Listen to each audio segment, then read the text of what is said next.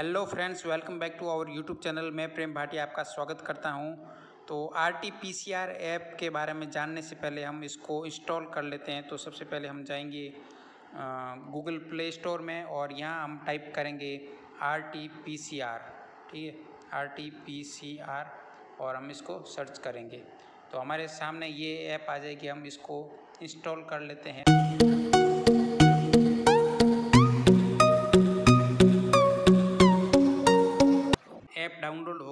इसको ओपन कर लेते हैं और टर्म एंड कंडीशन को एक्सेप्ट कर लेते हैं। ऐप ओपन होने के बाद ये मोबाइल नंबर मांग रहा है तो हमें पहले जो डिस्ट्रिक्ट अथॉरिटी है, वहाँ से अपने मोबाइल नंबर को ऑथराइज़ कराना है और उसके बाद ये ओटीपी आएगा और ओटीपी के बाद आप इस ऐप को चला पाएँगे। अगर आपके पास रजिस्टर्ड मोबाइल नंबर है, नहीं है तो भी आप इस ऐप को चला सकते हैं। इसके लिए आपको थोड़ा वेट करना पड़ेगा वीडियो के अंत में बताऊँगा कि आप किस प्रकार से बिना नंबर रजिस्टर्ड किए भी मोबाइल से इस ऐप को चला सकते हैं। अब मैं अपना आईडी से लॉगिन कर देता हूँ और उसके बाद जो ऐप में ऐप में ऑप्शन आते हैं उसको क्या प्रोसेस होती है उसको हम कंप्लीट करेंगे। किसी भी पेशेंट की S R F I D generate करने के लिए आपको ऐड न्यू पेशेंट पे क्लिक करना होगा। तो इसमें पूछ रहा है कि आपके पास डॉक्टर का प्रिस्क्रिप्शन है या नहीं है। अगर मैं नो पे क्लिक करूँगा तो हमारे पास ये ऑप्शन आ जाएगा कि गाइडलाइन के अनुसार डॉक्टर का प्रिस्क्रिप्शन होना अनिवार्य है। इसके बिना आप फर्दर नहीं बढ़ सकते आगे, ठीक है? तो वापस क्लिक करता हूँ ऐड न्यू पेशेंट पे। हमारे पास डॉक्टर का प्रिस्क्रिप्शन है, इसको मैं यस कर लेता हूँ। इसके बाद ये पूछता है, पेशेंट का नाम क्या है? मैं मान लेता हूँ, पेशेंट का नाम है अशोक कुमार। ठीक है, उसके बाद हमें पेशेंट का जो मोबाइल नंबर है, उसको ऐड करना पड़ेगा। मैं मोबाइल नंबर डाल देता हूँ और उसके बाद मैं चाहूँ तो इसको ओटीपी भेज सकता हूँ इस पेशेंट के मोबाइल पे और उस ओटीपी को हमने यहाँ रखना है और उसके बाद ये मोबाइल नंबर कंफर्म हो जाएगा। किंतु इस समय कई बार नेटवर्क की वजह से या सैंपल अधिक होने की वजह से ये इसमें काफ़ी टाइम लगता है। तो इसको कम करने के लिए गवर्नमेंट ने इसकी ओटीपी का ऑप्शन दिया है। तो मैं क्लिक करता हूँ इसकी ओटीपी तो हमारे पास ये आईडी जनरेट हो गई। अब हमें इसको आगे जो भी फॉर्म फिलअप करना है वो भर सकते हैं। ठीक है? तो जो मोबाइल है वो पेशेंट से बिलोंग करता है या फैमिली से? तो मैं करता हूँ सेल्फ पेशेंट क्वारंटाइन फैसिलिटी में है या नहीं है? तो नो इस पेशेंट का विलेज कौन सा है तो मैं भर देता हूँ। जोधपुर स्टेट है, राजस्थान डिस्ट्रिक्ट है, जोधपुर। और पेशेंट का address A three three seven Gandhi Nagar, ठीक है? पिन कोड भरना है three four two zero zero one age मान लेते हैं twenty five gender male nationality Indian है, और आरोग्य सेतु ऐप है या नहीं है? अगर है तो यस करना है, नहीं है तो नहीं करना अर्थात इस मोबाइल इस पेशेंट के मोबाइल पे ये ऐप है या नहीं है? तो मैं इसको नो कर देता हूँ। फिर भरना है Aadhaar number. Aadhaar number compulsory नहीं है, चाहे तो भर सकते हैं, नहीं तो नहीं भर सकते। मैं मान लेता हूँ, एक ऐसे ही मैं आधार नंबर डाल लेता हूँ, टू टू, थ्री, ऐसे करके मैं एक आधार नंबर डाल लेता हूँ। ठीक है? अब हम इसको आगे बढ़ाते हैं। नेक्स्ट करते हैं। तो इसमें ये बता रहा है कि आपका जो आधार नंबर है वो इनवैलिड है। तो कोई बात नहीं, हम इसको आधार को नंबर को डिलीट कर देते हैं, फिर आगे बढ़ जाते हैं, ठीक है? तो हम इसको आगे बढ़ जाते हैं। तो हमारे पास सैंपल कौन सा है? टी एस नेजल स्वाब है या थोरक्स स्वाब है या फिर बी एल या ई टी है मतलब जो ब्रोंको अलोनियल लवेज फ्लूड है या फिर एंडोट्रेकिल एस्पायरेट है, कौन सा आपके पास सैंपल है? इससे टेस्ट कर रहे हैं। तो मैं थ्रोट स्वाब को क्लिक करता हूँ। हमारे पास अट्ठाईस तारीख का सैंपल है और इसको मैं सैंपल आईडी का नाम दे देता हूँ। ए वन ज़ीरो वन और आगे बढ़ जाता हूँ। और उसके बाद पेशेंट की कैटेगरी में आ, किस कैटेगरी में आ रहा है? तो मान लीजिए मैं इस किसी भी कैटेगरी में नहीं आ रहा हूँ तो मैं इसको अदर पे क्लिक कर रहा हूँ और फिर आगे बढ़ जाता हूँ। पेशेंट को सिम्टम है या नहीं है? अगर मैं पेशेंट के सिम्टम को यस करता हूँ तो ये कौन से सिम्टम है, इसको आपको क्लिक करना पड़ेगा। इस डायरिया है नोइजिया है या वोमिटिंग है, कोई भी जो भी है, वो क्लिक कर सकते हैं। और कब है, कब से आपको ये सिम्टम है, इसकी आपको डेट भरनी है और which of the above mention was first symptom इनमें से कौन सा सिम्टम फ़र्स्ट सिम्टम है? तो मैं इसको नो करता हूँ, ठीक है? फिर हम आगे बढ़ जाते हैं।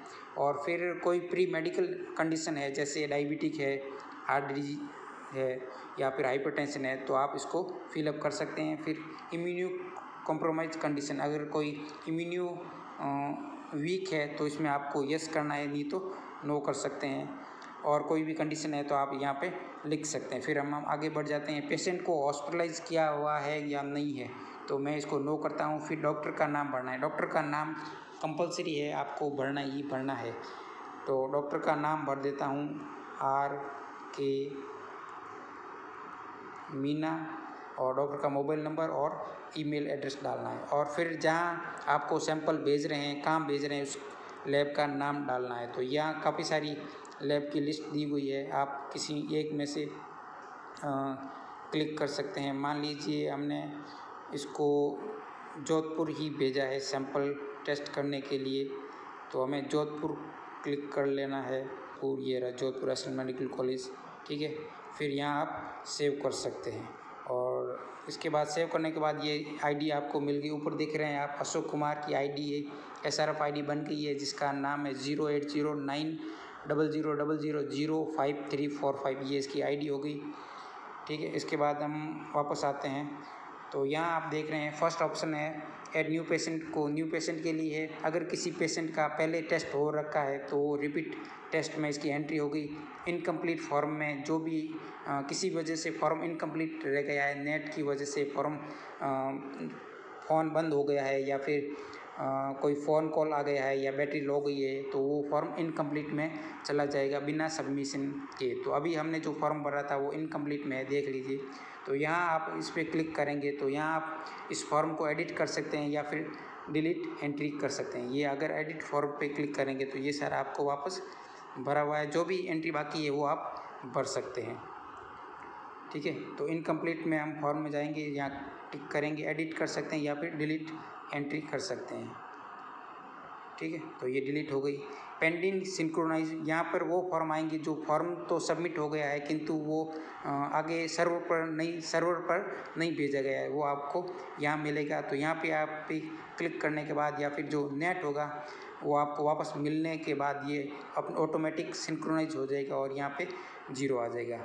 और अगर आपको वापस वही फॉर्म देखने हैं तो वहाँ पे जो आपने फॉर्म भरे हैं अभी तक, वो उसकी सारी डिटेल व्यू फॉर्म में आएगी। मान लीजिए हमने अट्ठाईस तारीख को जो भी फॉर्म भरे हैं, उसकी सारी डिटेल यहाँ सर्च करेंगे तो हमें सारी डिटेल यहाँ पे मिल जाएगी। आज की डेट में ये सारे फॉर्म हमने भरे थे, उसकी सारी डिटेल हमको यहाँ मिल जाएगी। मैं ये किसी एक फॉर्म को सेलेक्ट कर देता हूँ। मान लीजिए इस फॉर्म को हमने सेलेक्ट किया है तो इस फॉर्म को हमें पीडीएफ के रूप में हमारे पास आ जाएगी ये सारी। तो यहाँ आप डाउनलोड कर सकते हैं। अगर आपको जो फॉर्म भरे हैं, वो सारे एक साथ आपको डाउनलोड करने हैं तो अब आप क्या करिएगा? यहाँ हेल्प में जाइएगा और ये जो आपको एक वेबसाइट का एड्रेस दे रखा है H T T P COVID nineteen C C dot N I C dot in यहाँ पर क्लिक करेंगे तो आपको ये साइट खुल जाएगी और यहाँ से आप डाउनलोड कर सकते हैं। तो यहाँ आप ऊपर जो तीन लाइन दिख रही है, यहाँ पे क्लिक करेंगे तो सबसे नीचे से सेकंड ऑप्शन है सेंटर या सैंपल कलेक्शन यहाँ पे क्लिक करेंगे तो यहाँ नीचे जो फ़र्स्ट ऑप्शन दिख रहा है डाउनलोड एस आर एफ़ या पी डी तो यहाँ आपको ये सारी P D F file download हो जाएगी। इससे पहले आपको वहाँ पे जो रजिस्टर्ड मोबाइल नंबर है, उसको वहाँ पे डालना पड़ेगा ओ टी पी आएगी, उसके बाद ही ये सारा आप डाउनलोड कर सकते दूसरा और यहाँ जो डिटेल मैन्यूल है, नीचे देख रहे हैं ब्लू कलर में तो यहाँ आप क्लिक करेंगे तो डिटेल मैन्यूल आपको सारी ओपन हो जाएगी। ये अभी हमने जो बताया था, सारा इस पीडीएफ में मिल जाएगा कि इस ऐप को किस प्रकार से चलाना है और किस प्रकार से इसमें ऑप्शन आएँगे, वो सारा इस पीडीएफ फ़ाइल में आपको मिल जाएगा। जैसा कि मैंने शुरू में कहा था कि अगर आपका मोबाइल नंबर रजिस्टर्ड नहीं है और आप ऐप चलाना चाहते हैं तो आप चला सकते हैं। इसके लिए आपको जो भी ऐप यूज़र है, अर्थात जो भी